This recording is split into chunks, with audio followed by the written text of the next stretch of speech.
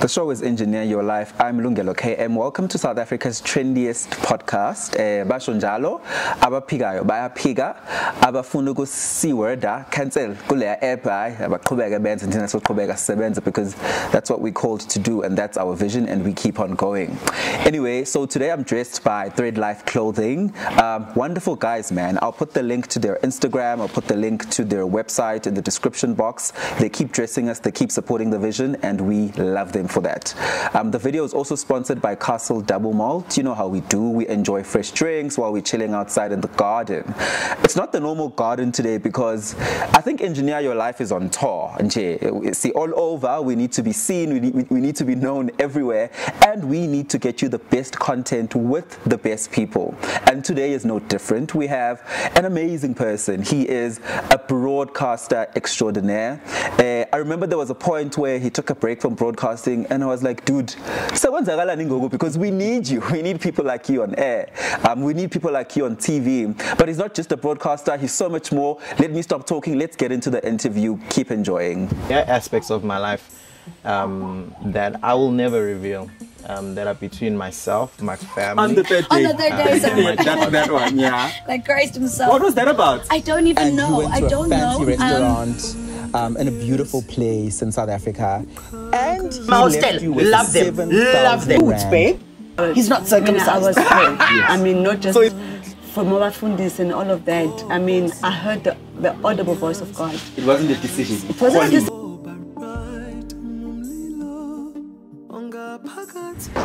because Nyayitandi Indaba and and Pelelo Mdlandla, you keep on coming back to the podcast, and we thank you so much. And anyway, since we are here, um, I gave you another amazing guest, Nyamazike.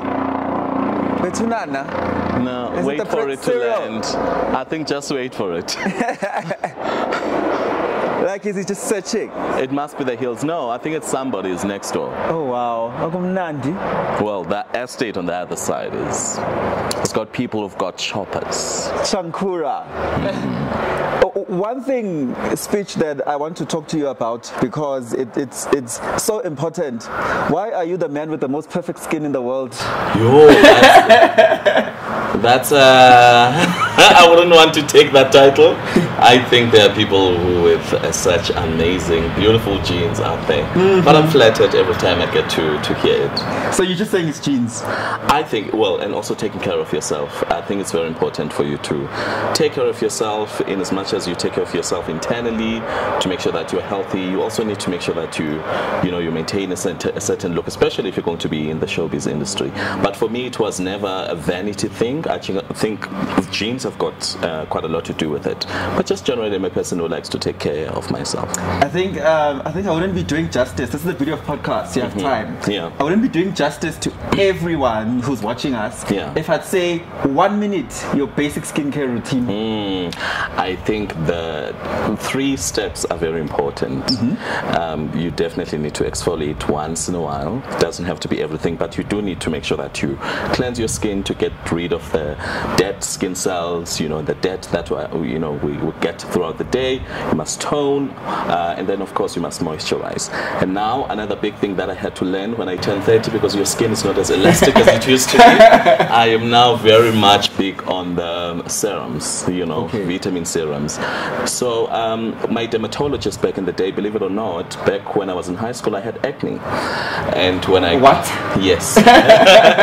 so when I got to varsity, then I thought, you know what, let me go see a dermatologist. And one thing that he told me, which I, I think I carry throughout, is the very same way you take care of your body and you want to make sure that it's got nutrients by what you consume, you know, your food and your nutritional content. Um, it's the very same way that your skin will need those nutrients. So Yeah, yeah. make sure that you know whatever product that you get, it's got that nutritional composition that that's suitable for your skin. You know, so uh, people are walking around. Sometimes we think we've got, um, you know, a very bad skin condition, whereas it's just you know a nutritional deficiency that that you you could fix by making sure that you balance the vitamin C or the omegas or whatever that your skin needs. So yeah, that's that. It's the three steps. Make sure that you cleanse, you tone, and you moisturize. And after a while, or maybe after a year or two, actually even if after six months, make sure that you also review your product. Is it still working for my skin? Is it what my skin needs right now? Environmental Hmm. conditions at times, you relocating, moving to another place, the climate conditions, all those things tend to affect uh, your skin. And of course, try not to stress as much. And that was the end of the episode on the on, on the skin masterclass. Spitch officially welcome to the show. Thank you so much. Um, it's Um, beautiful to have you. Um, thank you for trusting us. I'm always a bit nervous when I have a person who mm-hmm. has a strong traditional background in broadcasting mm-hmm. because they can see through this mess that we do on podcasts. Mm-hmm. Um, so welcome. welcome. Thank you so much, and I must say, congratulations on what you have started. I love people who basically go for the unconventional, mm. and as a person who's skilled in another profession, for you to be able to follow your passion, um, you know, around broadcasting. Broadcasting is very wide. Mm. You know, it doesn't have to be one thing within the traditional space. Um, I mean, we're seeing quite a rise of podcasts uh, in our country as well. So to see a lot of particularly young people getting into um, that space is very encouraging. And I encourage any other person who wants to do it, who wants to make sure that they create a space for conversations, uh, for social cohesion or whatever. So congratulations, well done, keep it going, um, and you, you you'll never know what it will lead to. Thank you so much. Um, It's not about me today. uh, uh, just a question since we're there on the subject of podcasts. Yeah. Why do you think women are not starting podcasts? Are women not starting podcasts? Think of just give me. I, I- I can't actually think of one right now, especially in South Africa, that's female led and the, there's a female anchor. Really? That that would be well. I've never paid attention to that. You know, uh, to just check gender parity within the space with regards to who amongst the genders is is leading in terms of uh, selling podcasts, but. That would really be unfortunate because I'd like to think that women are engineers of conversations in general. And if there is a space that's to embrace women or to embrace conversations in general, it would have to be podcasts because you then get to have conversations unfiltered. Absolutely. Um, so I've never really paid attention to it, you know, so this is shocking to me. But I do know that within the traditional space, which is your radio predominantly, there's been a conversation over the years as to why you have a very uh, limited number of uh, women hosts Yes, uh, who are leaders as yeah. opposed to co-hosts. Yeah, yeah. And of course, uh, within that, um, you would have the conversation then going to, you know, um, the demographics as to what listeners prefer. You know, they'll prefer the male voice at this hour, the female voice at this hour. But we're seeing quite a lot of that change within the industry. And I think it is important then to also encourage women to then start their own podcasts, you know, start your vlog um, um, and, and just be and create a space for women to, to find an expression of who they are from somebody that they're watching on the internet, on YouTube, um, who might not finally or maybe normally find space within your TV or your radio. Um, it would be sad for women not to be a part of um, This uh, space, this yeah. space, Yeah. but um, I would like to think a lot of women would love to to start podcasts. I want to go. I want to go to how your journey started. Um, I'll, I'll just fast forward to you leaving school and getting into university. Um, are you trained as a journalist, and is that how you got into the media space? Yes, I'm a trained journalist, practiced as a journalist um, for a few years, and then moved into the corporate, um, I would say the, the, the communication space rather, um, and then got into broadcasting, and then after years in broadcasting, and then went back into communications, and now I'm in a beautiful space where I tend to and get to do it all. The power of balance i think Ne? is very important. And it's a journey thing. Um, you start at a certain point. I think as you evolve as you grow as a person and as a professional most importantly you then get to identify areas within the profession that work for you. So for me i remember university when i think we're doing our final year and one of our lecturers wanted to know which um, areas within journalism um, would you know particularly want to specialize in And I remember Debora Patta was quite big at that time, and a lot of us wanted Con- to be like investigative journalists, Yes, wanted to go to yes. Iraq, you know, find Osama bin Laden. But I remember I said, I just want to, I want to tell people stories, right? I want to tell human stories, um, and and as a result, my brand of journalism was never to, you, you know, to to sensationalize or over sensationalized reality because we find that quite a lot in South Africa. But I think just in general, um, in the country, uh, in the world, you look at countries like your America, where paparazzi is, you know, it's quite big, and you know the sensationalism of the reality of lives of those who are within showbiz. But then also when you tend to look at your politics, um, you know, in South Africa within that context, we're seeing quite a lot of people who, even though there's a positive in it, but um, I always find that the the, the objectivity part um, of your journalism brand then gets compromised quite a lot because there are factions within that that space. And I think for me particularly, I just wanted to be able to go and tell a story that is life changing or afford an opportunity to somebody whose story might not make it to um, a CNN and SABC a carte blanche, right? But the fact that you're a journalist and you're trained, you then um, get to employ mechanisms that are going to assist that person to be able to tell their story.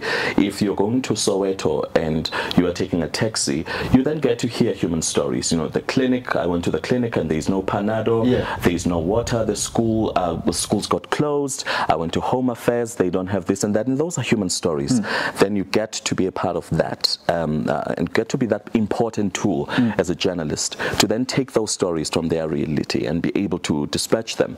And, and, and, and the powers be then get to be challenged by those stories being aired and, and, and, and, and, and in their respective positions and roles, then, you know, they, they will be challenged in a way to, to get to do something to change the reality of those South Africans. So for me, journalism was that, and that's where I started. And I got to a point where I realized, you know, I, I wanted more.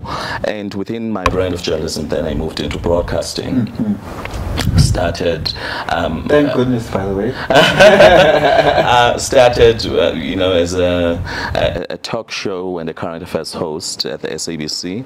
Uh, there was a show on SABC One, uh, Yelungelo Lako, which I started at the age of 24, um, and then I just grew within the space. You know, there's so many shows that I've done. I've done your Sunday Live, I've done your Rights and Recourse, I've done Question Time, and those are shows that required you to be in tune with what's happening around the country, Current affairs to know, you know, Yeah. you need to understand current affairs, but um, more so, you you need to identify um, because are so many people who are within the space, but find a niche and find that one thing that works for you, maximize on that, and then just run with it. I remember when I started in broadcasting, and I had to uh, just within few a few weeks um, hosting um, the show, there was a political figure who was highly controversial at the time, and I was told by my executive producer that, oh, well, you know, we actually need you to do this interview, and I was so scared. Yeah, yeah, yeah. And I remember he said to me, always remember that you're in control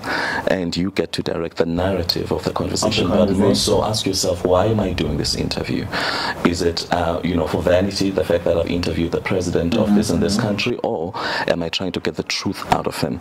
And I think I then took that principle and I ran with it throughout my broadcasting career.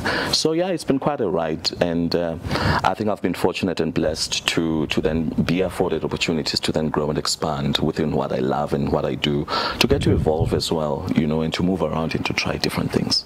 Um, TV has very different technicalities to radio. So Mm-hmm. you started your broadcasting career in TV with all these different. Actually, um, when I was in varsity, I did I did campus radio, Oh, okay. and I always tell people that from the first year, within three months, I was called, "Come and read news. Uh, think you can do it." And then I went and I read news, and they were like, "Oh, wow, um, read news then." And then I was a newsreader, and then within a few months, uh, the drive time host was not there, and they said, "We think you can do it." And then I did campus radio. So my training training started there. Okay. By the time I got to a real big platform, I already had that training. I remember, you know, back in the day when I was in varsity, when I used to go to a lot of these um, auditions, and every time I went to an interview, especially um, audition, particularly for for entertainment shows, they would always say, "You belong to talk." Mm, You know, you've got such a very a strong command uh, Of this voice, and of this. yes, no, so you would definitely do well in talk. And I didn't understand it then because Yeah. I was 21 and I wanted to say duku duku, clothing, you know, like other youngsters. But Yeah. I then got to realize that, you know, we're all called for different things within the space and it's quite big. And it then challenged me because when I got into broadcasting and journalism, I realized that you, you can't just go and switch on the microphone on radio you can't sit, you know, go be in front of the camera and say you're going to drive a conversation without you doing research. You need to know exactly what you're talking about. You need to have your facts, but at the same time, um, you are not out there to to ambush uh, people, even though maybe sometimes they might not be telling the truth. Your job as a host or as a broadcaster is to make sure that you steer them towards the, right direction Yeah. and the truth, Yeah, yeah, and they they get to tell it themselves. But, then, so you have this campus radio background, Mm-hmm. you go into TV. I know TV has a, a national footprint, so you are exposed to that national footprint. Mm-hmm. Yeah. But doesn't imposter syndrome then come and attack you when your first, I'd say now it's your first radio gig, your first real radio gig is Mm-hmm. a prime time show on Umhlobo? So before Umhlobo, I was a newsreader on on on, on uh, Radio 2000. Okay. All right, and I think even though I, I mean, as a newsreader, it's it's always the host saying, "Oh, and it's time for the news." The news um, uh, speeches up with the news. ne? You're sitting in your booth and you read your news, Mm-hmm. And then you leave. and then you're right, out. you out. Ah. I think when the Umhlobo, when because I was 27 when I got to Umhlobo and I'm doing a prime slot, that was um, generally in the past done by icons, you know, OTC, TSI. There people that grew up listening, the likes of Amaza was still with the station. You know, people are doing really, really well. And I was this young person who just wanted to get into the space and do what I want to do. But I think at the time, having a management um, that really believed in me because when they came to me, all I wanted to do was to do talk. So I just said, well, if there's a slot, um, I think I would do talk. But then I, I remember the then station manager said to me, I've been watching your work on TV and I've always known that you're a radio head. So I think you do fairly well within the space. So I had to quickly then learn to um, bring in the fun, spunky side in To me you, to your personality. because I was so used to doing talk, right? You just switch on the microphone. What I know matters is the content. And now, when you get to a slot where there's even music, there's an entertainment element, but at the same time, you're going to, you know, have maybe 15 minutes where you're driving a conversation and you're engaging listeners. So I think for the first few months, um, and they allowed me that, you know, to to to to learn to to sort of shed off that talk show host uh, uh, skin and and then get to to being a versatile broadcaster. And I'm so glad I got to do it then because I got to realize a lot of things about me that oh I actually like this. Oh, I can actually just be casual on radio. You know, it doesn't have to be hard all the time. And so that versatility was very important because I could switch on heads on and off. And Umhlobo Wenene then also brought me back to my objective as to why I got into journalism. Mm-hmm. Got to be in touch with people's realities. You have Umam on the ground. Umam Umam Umam Magumede was going to call you somewhere Elokshini or you know Umam Dolo is in the rural areas. And they all get to connect with you because you have brought in the subject. You know you're talking about family dynamics. Everybody has got you know something to say. You're talking about um, money. You know you're talking about sex. Anything politics. Everybody wants to partake in this got a view Yeah. so you know that that that that imposter syndrome of course it will come in the sense that I thought who? Umhlobo Wenene is the second biggest radio station in the country you know? And it's 100% Xhosa. And yes I'm very good in Xhosa um, but you know am I good enough for the slot now Yeah, yeah. and I think having managers at the time, the programs manager, the station manager, and even the uh, you know the PGM, um, and the head of radio uh, at the SABC at the time kept on saying to me, "You've got all it takes, and Yeah, so keep yeah. going." So, and also what I had to do, I had to silence all the naysayers, The noise, right? And you have to silence the noise, and then sort of focus at this particular point, um, focus and listen to the people who who are going to affirm and validate you, so that you get to present yourself fully prepared and ready to take on the opportunity and do your very best. I, I definitely agree with you saying that you you found your casual side, you even found your funny side. Mm-hmm. Yes. Um, where you are right now is definitely the funniest you've ever been. You you, you are so who you are. You are so self-aware. I think I am very comfortable in who I am right Yes, now. yes. Um, funny, it's funny. I've got a friend of mine, Alfie, who always talk about this, and so when we were talking about, um, because now he's also in the industry, and I always say, I've always struggled with the idea that I'm funny. I don't think I'm funny. And you say, but you are funny. I'll say, yes, maybe I am, but I wouldn't like to to brand myself as a funny person. I think there are people who can do well in that space. I mean, we've got comedians, funniest people in in the country. We've got the likes of Skhumba Celeste. Those are people who who really live and breathe humor. I think mine comes when it comes, and and it is it's subtle somewhere there. But I think I, what I can agree um, on with you is, is is is the fact that I'm very comfortable in my skin right now. I, but I've I've never been easily shaken, or I've never been one to try to um, confine myself within spaces so that I can be, you know, part of the crew. I've always stood out. You know, I look different, I speak different, I dress different. You, you just can't help but spot me Yeah. and remember me, right? And I think that has always been that for me. And it's not something that I consciously did, but I think I've always been a person who just stand, stands out from the rest growing up. And I got to a point, of course, with growth and being comfortable in your skin and understanding certain things, where I got to embrace that. And once you embrace that, it's beautiful because once you get into an industry with people who are very opinionated about a lot of things, they'll be open, opinionated about what you say. Um, they will misinterpret whatever you say Deliberately. Deliberately, right? They will be on a mission to try to uh, tarnish your reputation, right? And there will just be people who are drawn to you, but they just don't know how to digest that attraction. I hear you. know, why am I drawn to him? And then, oh, let me be a troll, you know, and tarnish him. And I think when I started out in the industry, a lot of people had quite a lot to say about my looks, you know, this and that and that and that, and this and that and that and that.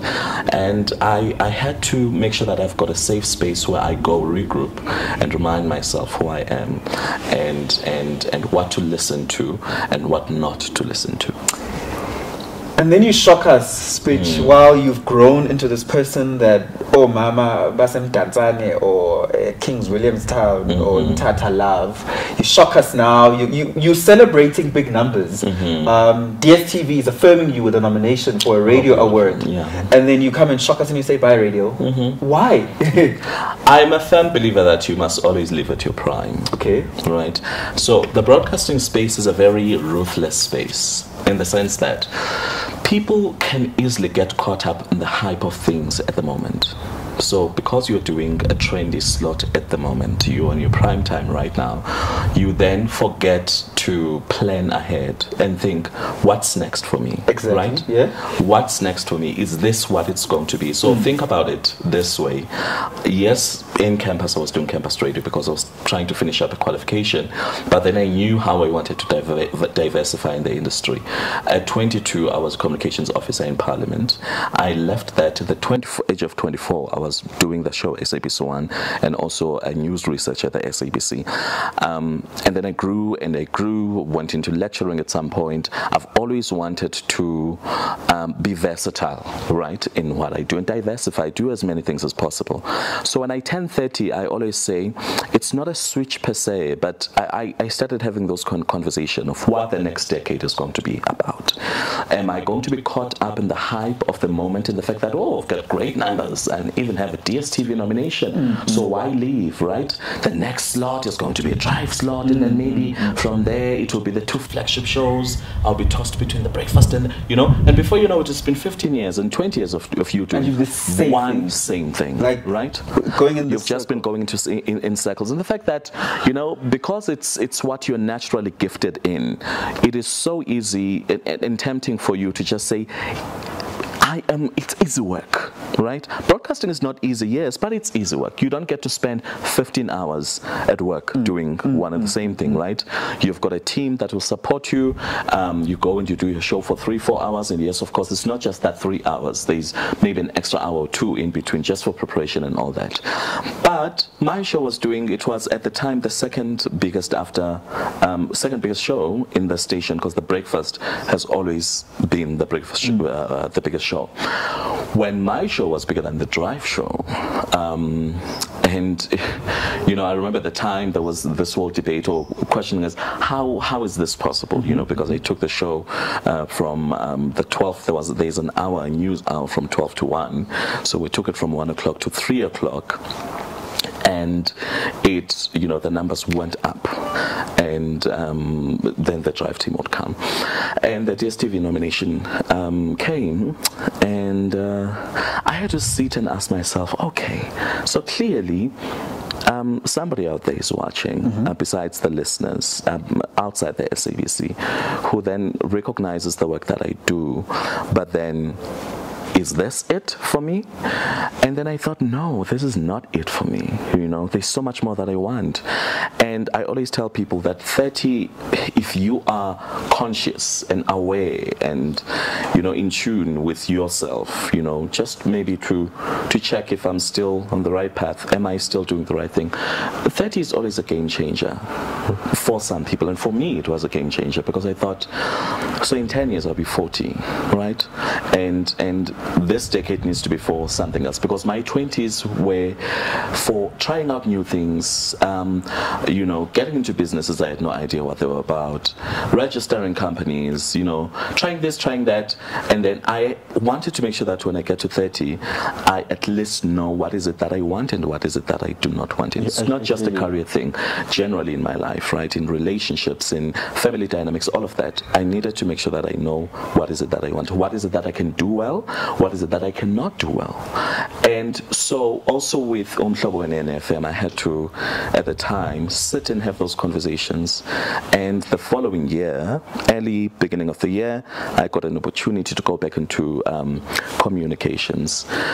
And uh, I had government now. yes. So I then so this is where we're all asking yaqala ke lento yokuthi ama broadcaster aye kwama communications Mm-hmm. khona umkhonyovu owenzakalayo Well, I can't speak for other people, but for me, it's where I started. Yeah, Anyway, you know, uh, like I said, I was doing comms um, in in Pali, and.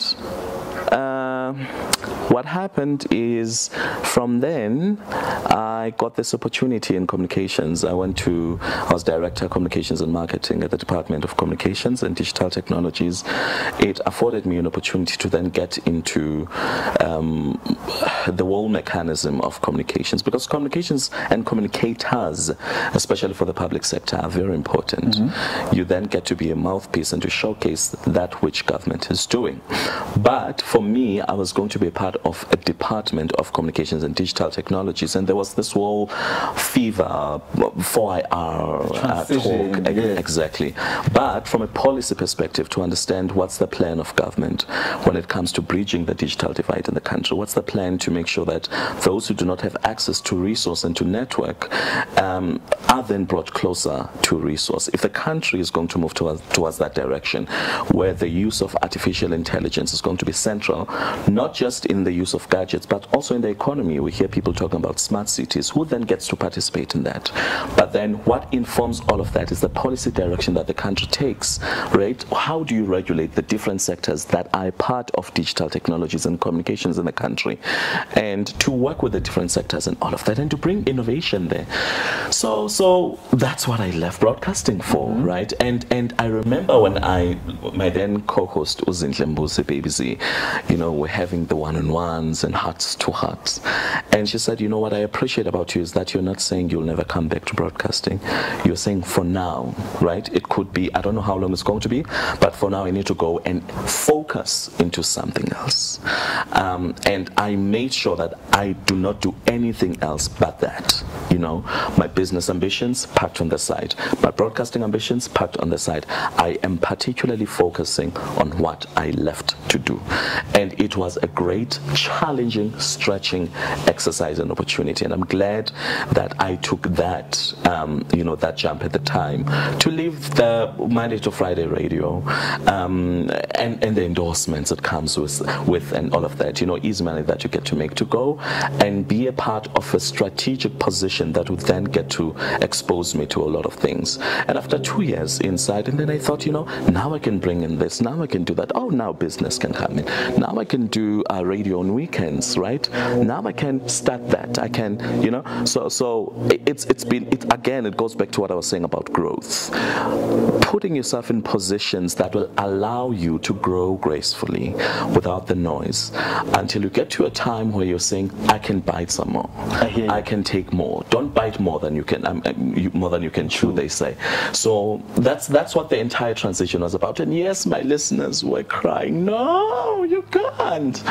And uh, for me, it was in as much as I loved, uh, and I still love my listeners. I love people who support what I do. It was about that being strategic and making sure that I align myself with something greater. Uh, Spitch is sounding, this is me echoing somebody who's watching now. Spitch Mm-hmm. is just trying to sound poetic about why he got into communications Mm-hmm. um, and government. But deep down, he's in the ANC, and that's how he got everything. And, that's why he can switch between SABC government Mm-hmm. as he pleases. No, not even. I will not be sitting here and be in a position to say, oh no, this is the political party I'm voting for. No, no, no, no, no. I think, firstly, I am highly skilled in what I do. Um, and I've gotten this far and gotten every opportunity on merit. And this is why I can sit confidently here and say, oh, well, if you're saying there's an opportunity I got um, that I didn't deserve unwarranted, test me. You know, go check my track record. Uh, there isn't a thing I do and do not excel in, right? So to say we get, you get an opportunity because of affiliations, well, maybe uh, there's an opportunity or a door that will open because of whom you're affiliated to. In fact, Um, in fact, uh, I can get you here because we've met before and we have some sort of relationship, and I Mm-hmm. Have your cell phone number. Yeah. That is an affiliation, and you we exploit affiliations in life. That's it. And we also need to move past, you know, it's one thing for, for one to, and I do understand where where it comes to the issue of political appointments, which, by the way, was not the case to in my case. I applied like everybody said. Eighty-three. Felt in Z 83. There was an in, you know an interviewing process which was Yeah. public. Um, it is okay for people to question and to bring government into account. Right? We do understand that nepotism is quite big in our country. We do understand that, um, especially the what's the seeming attack on SOEs and their poor performance is at times a result of political appointments. Right? Putting people in positions who have no clue um, what the core business of that particular SOE or government department is. However, always say your network is your net worth. Absolutely. If you meet people for the sake of meeting them, this is what I always say when I go and speak to, um, you know, startup professionals or I go to universities. I always say, if, and, and this is how I got trained by my lecturer at the time. He used to say, if you find yourself stuck in an elevator with a CEO of a big company, listed company that you'd love to work for, and you're stuck for three minutes. He's got his bodyguards, his protectors, his PA. Um, is not even looking at you. What are you going to say? Are you going to stand there and just be And, so in happy and oh my God, I'm here with uh, Yeah. Bill Gates, right? Or are you going to use your 60 seconds to make sure that you create an impression so that you open a door and you make sure that he remembers you? Um, and who knows what opportunity he could have. And I'm so for that. I think over the years, like I said, started quite young in the industry, and the fact that I believe in building a healthy and solid network. And I will not be shy um, when it comes to sometimes accessing those networks to make sure that I advance myself career wise, personally, or business wise. It is no shame. However, what is important is to make sure that in you doing that, you then do not implicate yourself in things that will, number one, compromise you, number two, um, risk other people, and number three, um, be corrupt in one way or another, right? So, if there's anyone in that opinion, well, sorry, Mdase. um, we, we work hard this side and we're good at what we do Why do you block so quickly on Twitter? because I can. like eh, every other week, somebody will show a screenshot of questions that won't be blocked you. because I can. So this is what people need to understand. Social media is not the world, right? Yeah. I don't build my house on social media. I choose and I curate what I put out there on social Mm-hmm. media. So if I get on Twitter and I decide, oh, I'm just going to be part of a silly conversation, it is purely that, a silly conversation. If you are going to think that is entirely who I am and brand me based on that particular tweet, I'm, I'm open to you engaging me. But there are terms of engagement anyway. Absolutely. right? Do not do it maliciously. Do not disrespect me. Do not think I'm a walkover. And do not think I'm just going to allow you to. Mm-hmm. And at times, because that's the energy that you're walking into, uh, in with, in my space, I have every right to say, not today, block you, and I move on. And this is what I say about people. Because people, I don't know whether we don't have izinto or maybe we really need to do better things. The unemployment rate really needs to be- And it's not Yeah. even that. I mean, there are a lot of people who are employed who, Yeah. who Who are trolls. media. I just think people need to understand that that is a platform and it's an app that you can log into and log out, right? And I wrote the other day, um, somebody said, "Oh my God, uh, the youngins, uh, the the the, the young uh, uh, thingy uh, trolls. Oh no, they edit. They are saying this and this." And I said, "Sweetheart, I'm actually in Durban. I'm having such a great day. I had a beautiful meeting and I'm drinking champagne. Yeah. I'm not on Twitter right now. And if I get on Twitter and I see, oh, there are about what 60 people who are trolling me, well, I can get off the, the app or just lock my account or block you if you're really relentless. Hmm. I don't know you personally. I don't need to know you personally. I'm blocking you there. And when I meet you in the street, I won't even recognize you. And that's the thing. So that's why I'm saying social media is not the world. There is a world out there. And as soon as people understand what is it that they take onto social media, when I go on Instagram, I don't show 90% or 100% of my life. I could be showing just 5% because we curate what we put out there. So I have every right to protect myself. And your um, and my peace and to say i'm not here to geez have a political debate with you or i'm not here to redeem and to prove myself to you. There are places where i can go and prove myself and and and my intentions thereof. And there's another thing. This um, cancel culture is quite a big uh, conversation. I always say unfortunately there are a lot of gullible people on social media if one person decides to drive a certain narrative about one person you've got a flock, flock of people who then And follow if, into and, that. and if it's the so-called right person who has the right influence on that platform Mm-hmm. on Twitter, um, there are trolls who are faces of trolling on that app. Mm. and if they want to lead that conversation, for example, at the moment we have an influencer whose name is being drilled down our Mm. throats day in day out Mm-hmm. by a certain person who calls himself a blogger on social media. Mm. So, But she's she's never on social media when those things happen. right? And Mauritius, darling. half of the time she she you know she she will not even be aware because that's the case that's the thing. The day I decided okay you get on social media you say what you need to say you get out was the day I had the most peace. Yeah. So half the time somebody says something nasty I'm not even I I didn't even see it. So well good for you you had the attention you had 120 retweets. I don't know, go bank them, go buy a Maserati, but I'm not there. And so blocking is self care, it's self love, and saying I'll not engage you on that level. And I choose to and have every right to. Yeah. So farewell. You have a very beautiful tattoo, but no nosy. I, I just can't Oh, stop she's my staring at it. mom. staring This is my it. mom. This is my mom. Yeah. Uh, she She's passed, still around? No, no, she passed Okay. on. That's why we've got two years. She passed on. Um, wow, it's been 25 years, 1997. 25 years. Yeah. So. Um, So many of us are without mothers. My goodness. Queen of my heart. So I decided when I'm having my first tattoo, she's going to be the one. That's that's lovely. Thank you. Um, you're very deliberate, as you're saying, Mm. showing a, a small percentage of your life on, on Twitter. You're also Mm. saying you're 30, so you're self-aware about what you want. Oh no no no! 32, turning 33 this year. Turning 33. So you're in that journey. um, you're in that journey where you know many things that you want and exactly how you want them to. Mm. to be done. Ne? You, you've never showed us a partner. Why not? I don't have to. Again, social media is not the world, and even if it was the world, Yeah. This I'm of the belief that I don't have to prove any point on social media.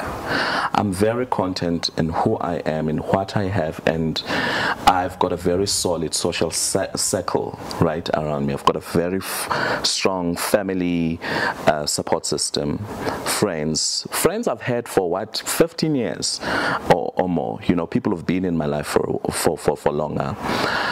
And so I believe there are certain parts of me that I just need to enjoy with those people. Yeah. Right? I don't need to show the world what I'm doing every day. I don't need to show the world whom I'm with every day. And I don't need to then also parade my partner um, for what good?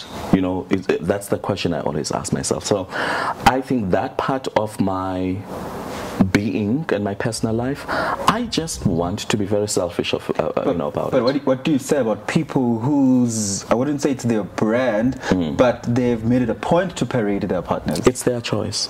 I can't dictate upon them what they need to do. They've got every right to do so if it feels right to them. And this is why I'm saying personally, it's not even a thing I think about.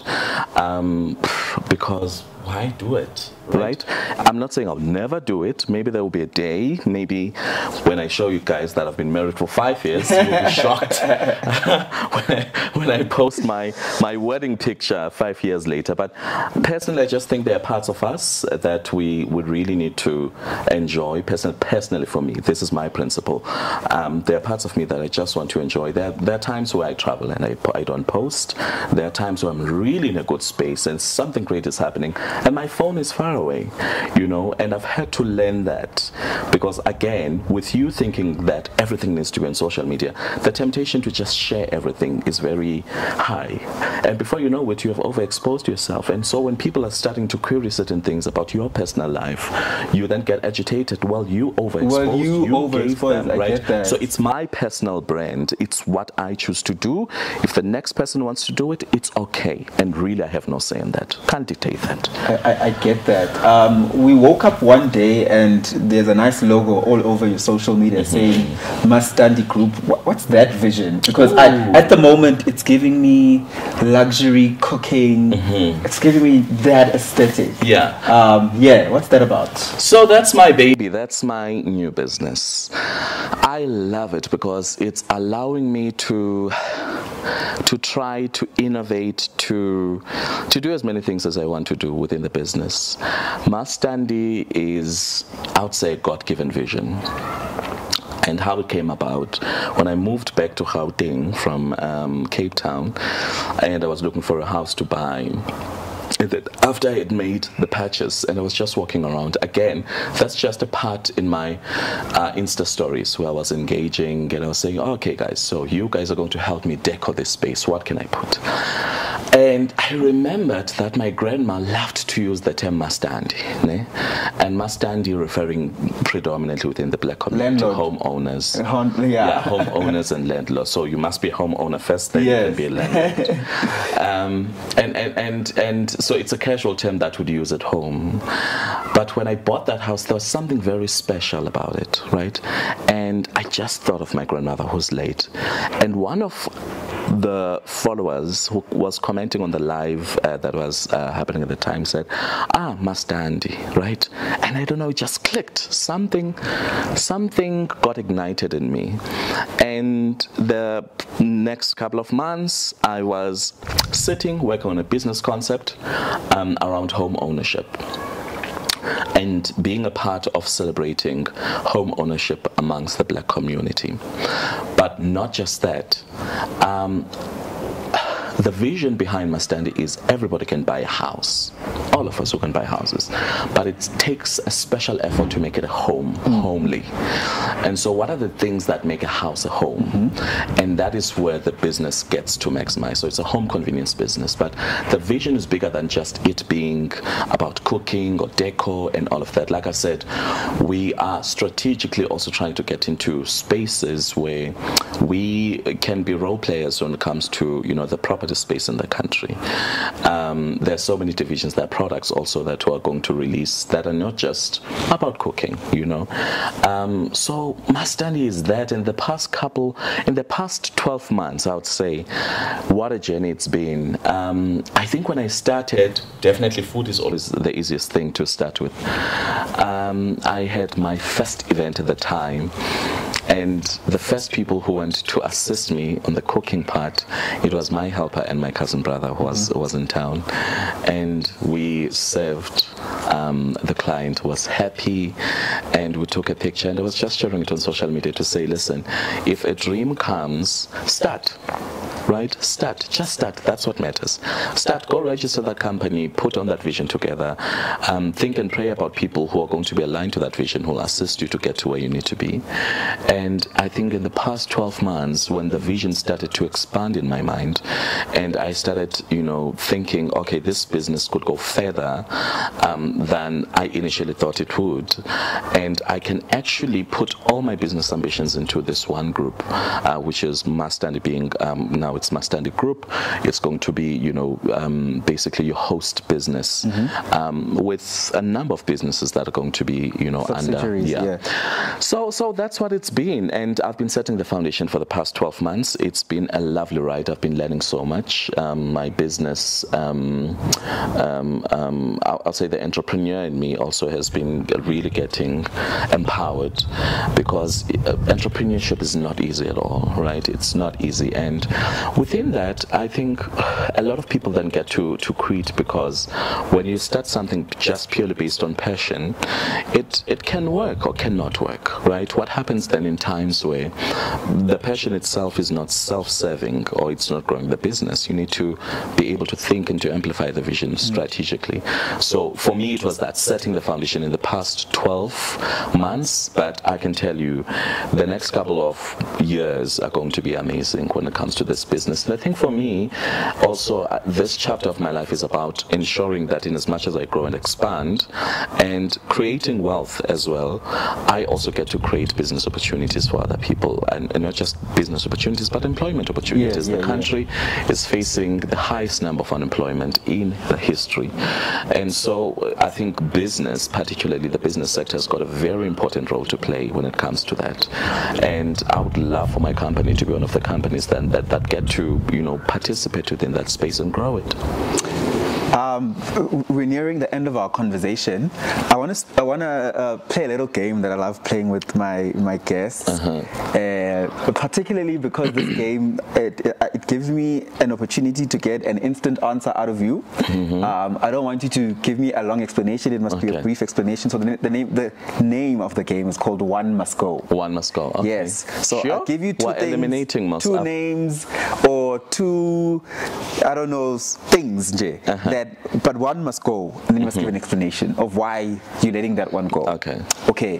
One must go. So do I need to say why I'm letting them yes. go? Brief, okay. brief, brief, brief explanation. Yo, uzangicabanisa. One, one must go. TV or radio. TV can go. Okay. Why are we letting go of this big screen?